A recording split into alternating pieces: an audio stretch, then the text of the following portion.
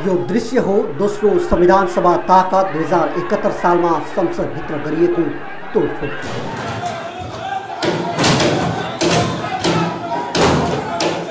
र यो दृश्य सोमबार प्रदेश पाँचको प्रदेश सभामा सांसदले देखाएको ताण्डव हो।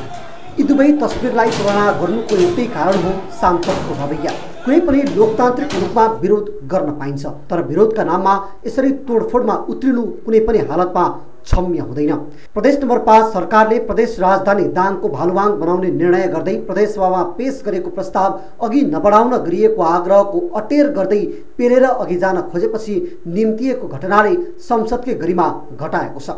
सोमबारको बैठकमा प्रस्तावका सन्दर्भमा कङ्ग्रेसले फरक मत राख्दै विरोध जनाएको थियो भने बैठक अवरुद्ध हुँदै स्थगित भएको थियो।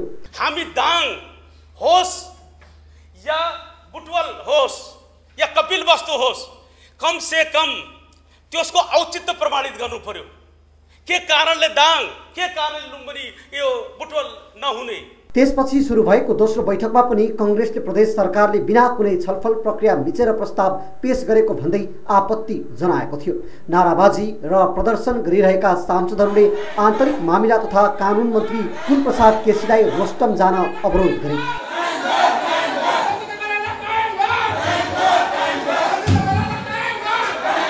कङ्ग्रेस सांसदहरूबाट फुत्किएर रोस्टम पुगेका मन्त्री केसीले नामाकरण लुम्बिनी र प्रदेशको स्थायी राजधानी दाङ बनाउने प्रस्ताव छलफलका लागि पेश गरे। यतिन्जेल विरोधमा नाराबाजी गरिरहेका कङ्ग्रेस सांसद आफ्नो बस्ने कुर्सी छेउ पुगेर कुर्सी उचालेर तोडफोडमा उत्रिए लगत्तै कङ्ग्रेस सांसद बसिउद्दिन खाले कुर्सी उचालेर टेबलमा प्रहार गर्न थाले।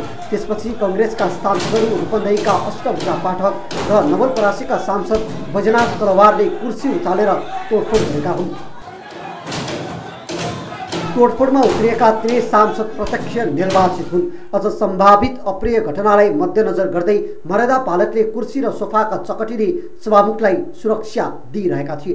मन्त्री केसी रोस्टममा गएर बोल्न थालेपछि एकजना मर्यादा पालकले रोस्टमको अगाडि आएर सोफाको खोल हातमा समातेर सुरक्षा दिएका थिए। तर मन्त्रीले पनि बैठकमा देखाएको व्यवहार भने सही थिएन। मन्त्रीले रोस्टमबाट बाहिर आएर मर्यादा पालकलाई हातले समाएर परपट्टि धकेल्दै विरोध गर्नेलाई निकाल्न निर्देशन दिए यो सुन्नुहोस् हेलो।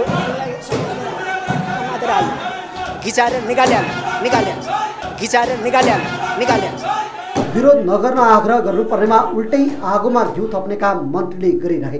घिसारेर निकाल्न गरिएको आदेशप्रति कङ्ग्रेस थप आक्रोशित भएको थियो। उता प्रदेश सभामा देखिएको तोडफोडको घटनालाई लिएर सामाजिक सञ्जालमा आलोचना भएको छ। साढे दुई वर्षदेखि हतार नभएको प्रदेशको राजधानी तोक्न यतिसम्मको हतार गर्नु कुनै जरुरी नै थिएन।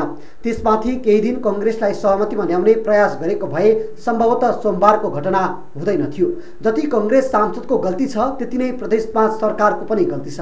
तर कुर्सी तोडेर मान गुमाएका सांसदलाई अब पनि माननीय भन्ने प्रश्न भने उब्जिएको छ। सरकारले संसदमा तोडफोड गर्नेहरूमाथि प्रचलित कानुन अनुसार मुद्दा चलाउनुपर्छ।